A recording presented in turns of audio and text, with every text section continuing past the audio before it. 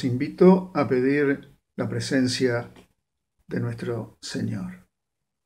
Dice en el libro de Isaías, capítulo 55, busquen al Señor mientras puedan encontrarlo, llámenlo mientras esté cerca.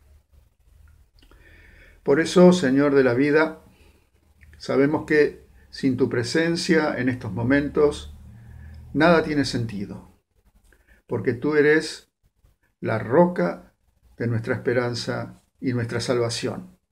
Por eso te rogamos que estés en medio de nosotros para impulsarnos a vivir santamente y con actitud de servicio, dando frutos comprometidos en la tarea de proclamar tu sacrificio y la venida de tu reino a nuestro mundo. Ayúdanos a estar firmes en la fe. Te pedimos tu presencia en el nombre de tu Hijo Jesús. Amén.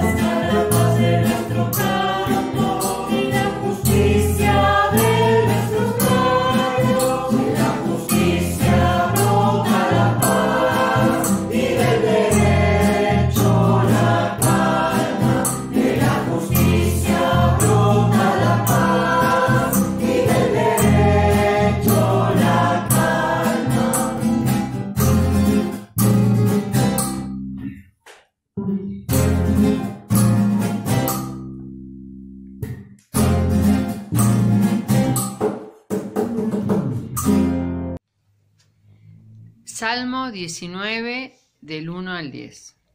Las obras y las palabras de Dios. Los cielos cuentan la gloria de Dios, y el firmamento anuncia la obra de sus manos.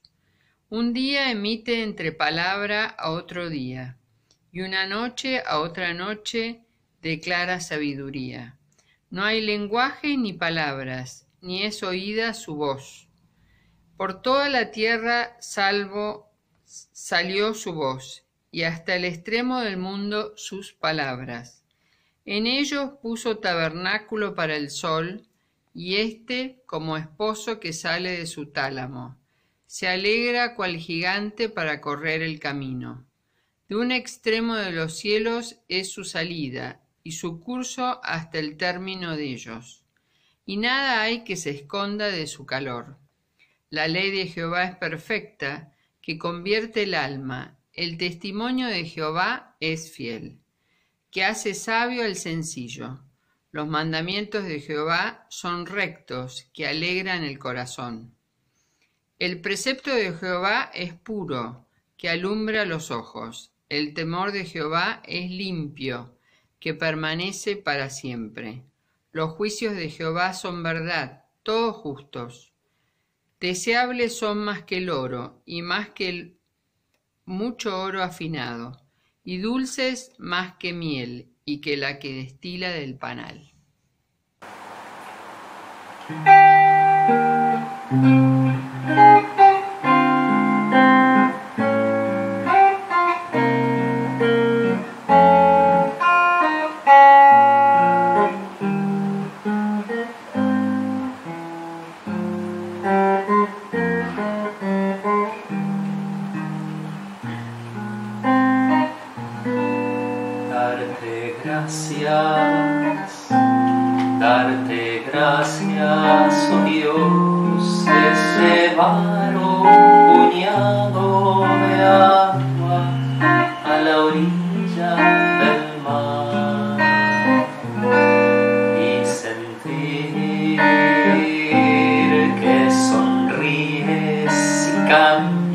nuestras jotas en lluvia y nos vuelve a mojar.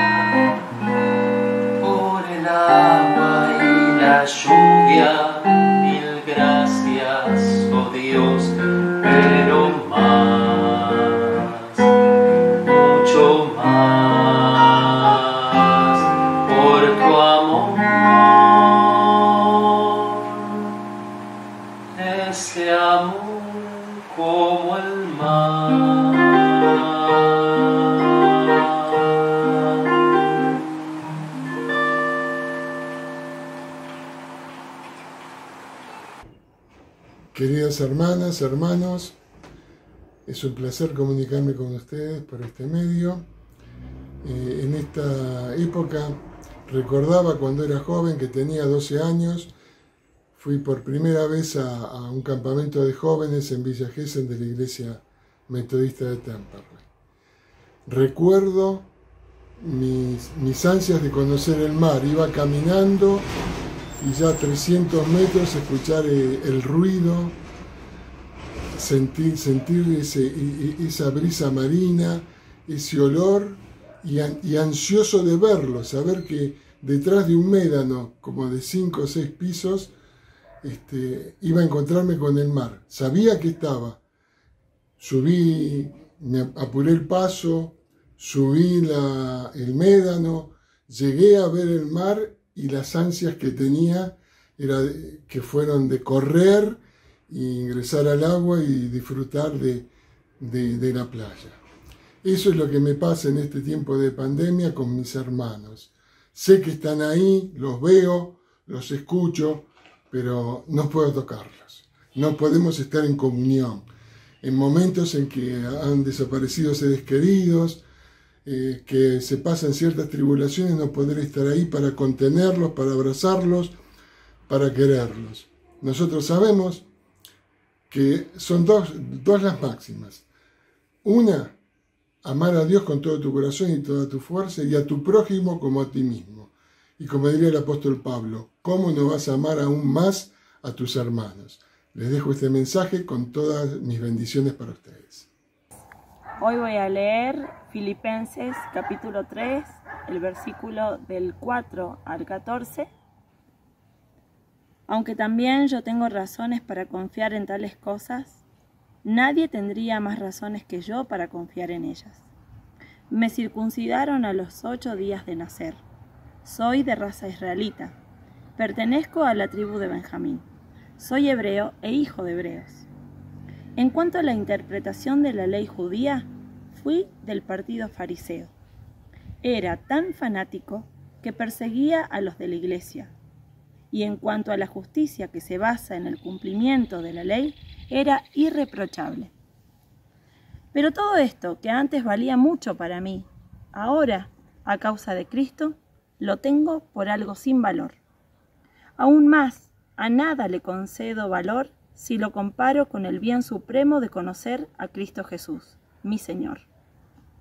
Por causa de Cristo lo he perdido todo, y todo lo considero basura a cambio de ganarlo a Él, y de encontrarme unido a Él, no con una justicia propia, adquirida por medio de la ley, sino con la justicia que se adquiere por la fe en Cristo, la que da Dios con base en la fe.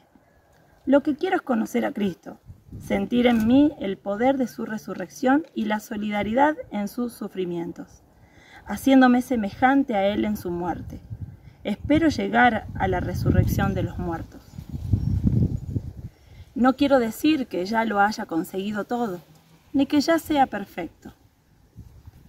Pero sigo adelante con la esperanza de alcanzarlo, puesto que Cristo Jesús me alcanzó primero. Hermanos, no digo que yo mismo ya lo haya alcanzado, que si hago es olvidarme de lo que queda atrás y esforzarme por alcanzar lo que está delante, para llegar a la meta y ganar el premio celestial que Dios nos llama a recibir por medio de Cristo Jesús. ¿Qué tal hermana, hermano? Buenos días. Hemos oído la lectura de Filipenses, un texto muy rico, muy profundo, donde Pablo establece su propia historia como, como paradigma de este encuentro con, con Jesús y la transformación profunda que ha ocurrido en su vida. Y el, texto eh, provee material autobiográfico del apóstol, quien menciona su estatus este, y quien menciona los logros de la tradición judía de parte de él. Eh, él tenía una vida honorable, podríamos decirlo, y hace una mención de todos los datos, este, literalmente él es uno del octavo día este, él es del pueblo de Israel, de la tribu de Benjamín, hebreo de hebreos, fariseo, perseguidor de la iglesia, irreprensible.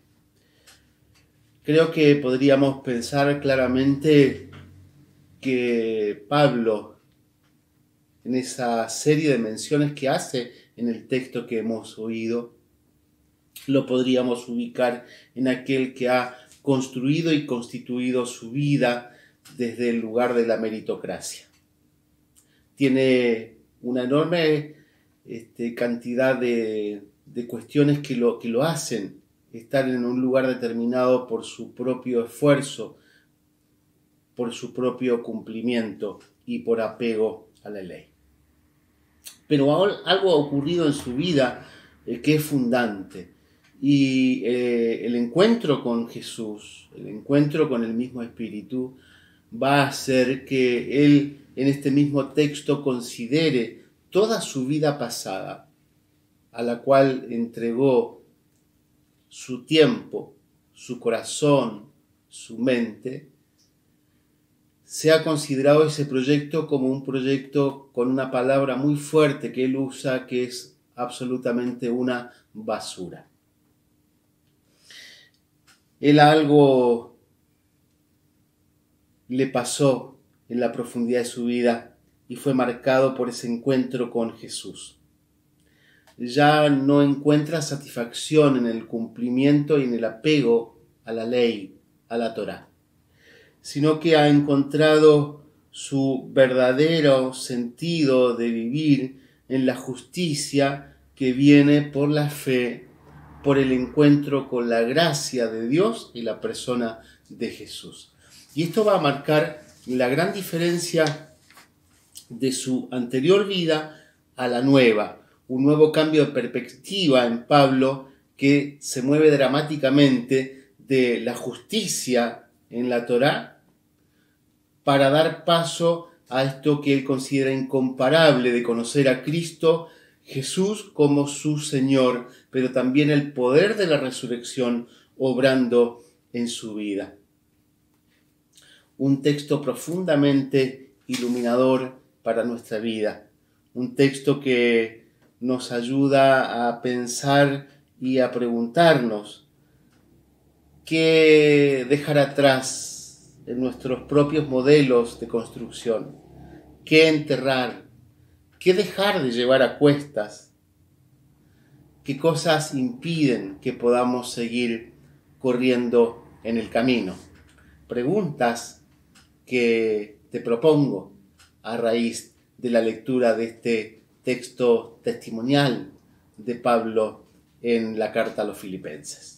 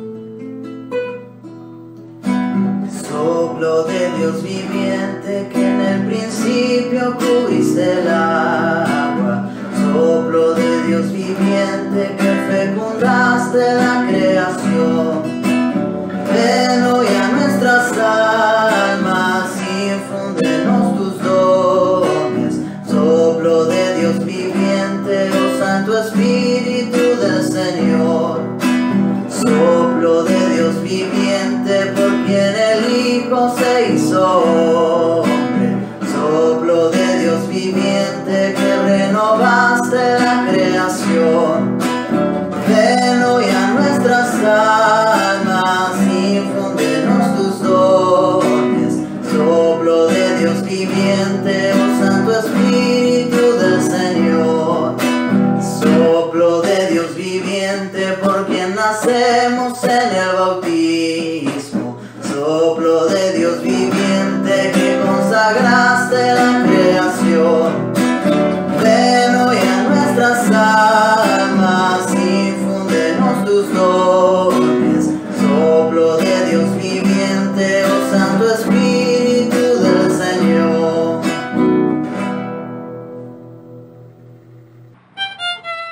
Sostengamos la casa común. Amada hermandad, como pueblo cristiano reconocemos que todo lo que tenemos es de Dios y en gratitud a Él presentamos nuestras ofrendas. En este tiempo particular de aislamiento que nos toca recorrer, tenemos que seguir sosteniendo la casa común. Es un privilegio poder ofrendarle a nuestro Señor y con esas ofrendas sostener su casa y su obra. Te animamos a que puedas asumir ese rol activo de servicio, y ese servicio incluye también tus ofrendas y diezmos, ofrendar y ofrendarnos. Gracias a ello podemos sostenernos como iglesia conexional, que somos, y colaborar con todos los trabajos diacónicos de apoyo a los más vulnerables, recordando que no contamos con ninguna subvención del Estado.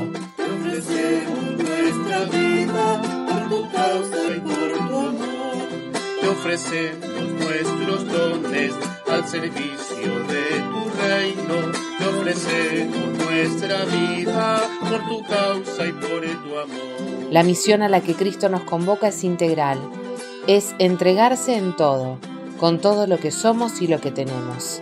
Es ofrecer en gratitud parte de lo que Él ha puesto en nuestras manos, energía, tiempo, interés, dinero. Nuestra vida por tu causa y por tu amor.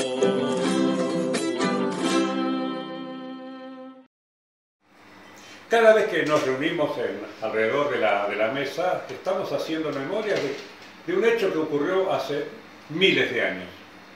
También entre los pueblos indígenas hay relatos que ocurrieron allá en el principio de los tiempos.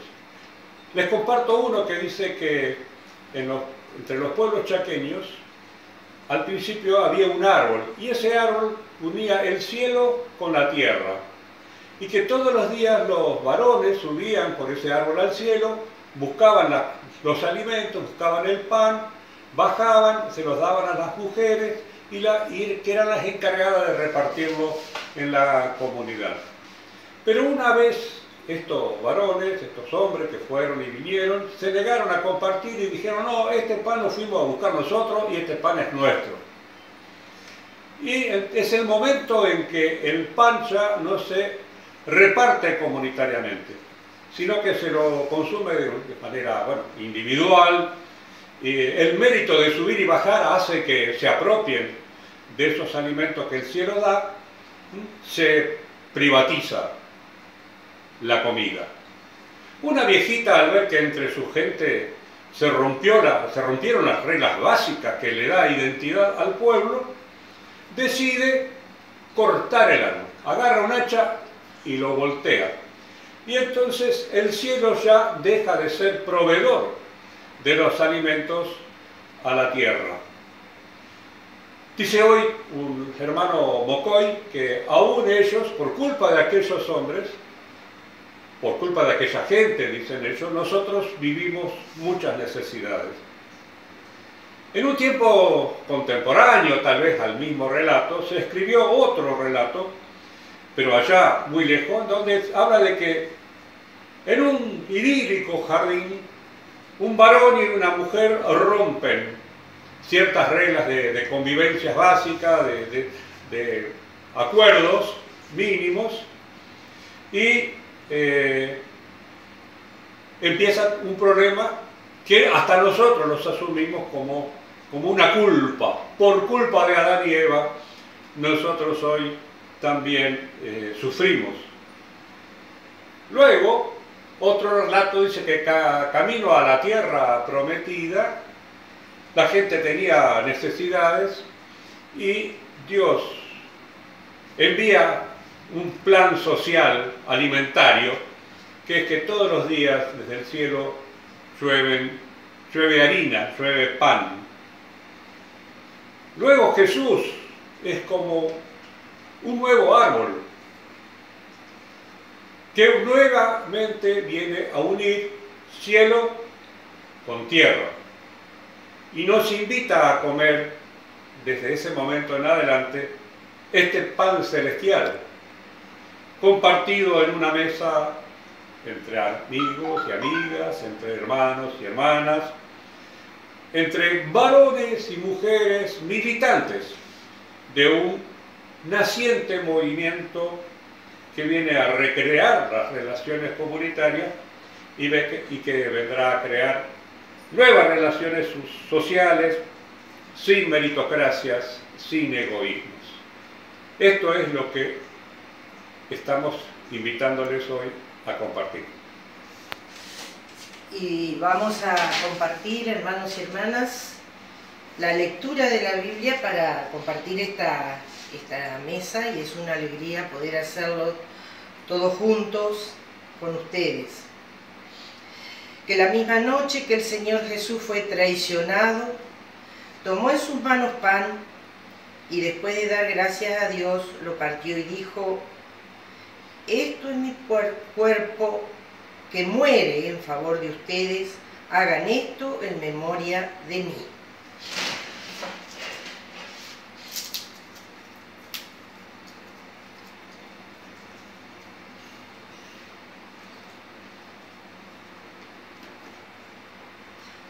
Así también, después de la, de la cena, tomó en sus manos la copa y dijo, esta copa es la nueva alianza confirmada con mi sangre. Cada vez que beban, háganlo en memoria de mí. De manera que, hasta que venga el Señor, ustedes proclamarán su muerte cada vez que coman de este pan y beban de esta copa. Los invitamos a compartir la copa, el vino.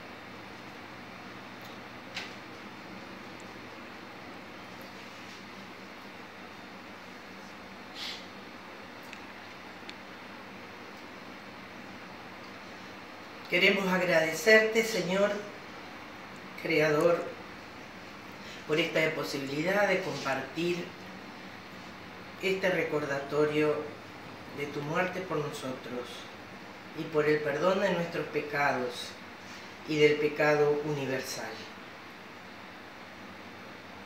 Que podamos seguir, Señor, compartiendo el pan cotidiano en tiempos de tanta avaricia, de tanta meritocracia, de tanto egoísmo, de tanta privatización de los alimentos que muchos no llegan a tener el, mérito del dinero como para ir a comprarlo en el almacén. Como quisiéramos, Señor, recuperar aquellas viejas tradiciones de los pueblos en donde el pan nos venía desde el cielo, no era un castigo comer, sino que era una bendición.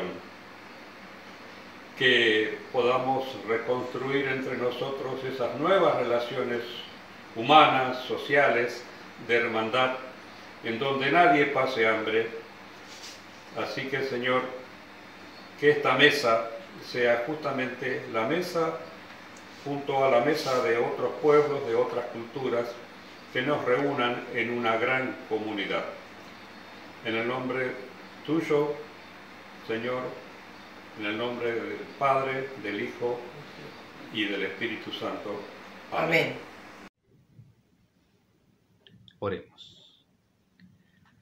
Señor y Padre nuestro, queremos en este tiempo poner delante de ti aquellas cosas que necesitamos que tú obres, Señor, de tal manera que podamos sentir tu presencia en medio nuestro, Señor.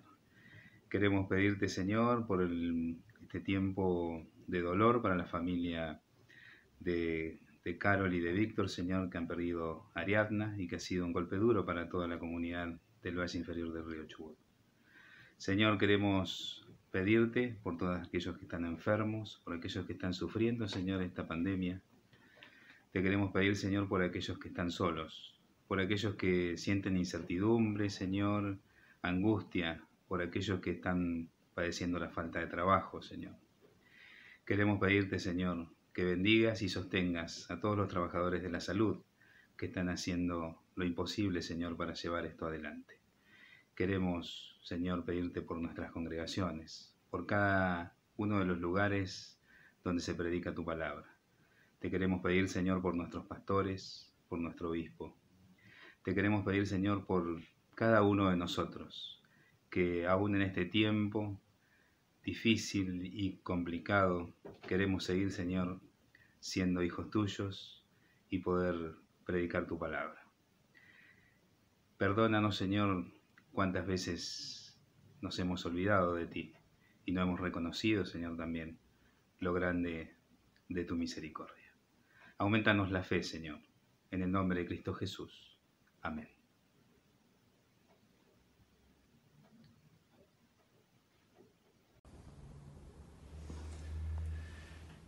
Que la bendición de nuestro querido Dios en esta semana nos permita confiar más en su amorosa gracia con nuestros propios esfuerzos humanos. Que en esta semana también nos permita experimentar el poder de su resurrección y participar de los sufrimientos que lleva implícita toda verdadera entrega de vida. Y que en esta semana también podamos seguir apostando a crecer y aprender junto a Jesús. Amén, que así sea.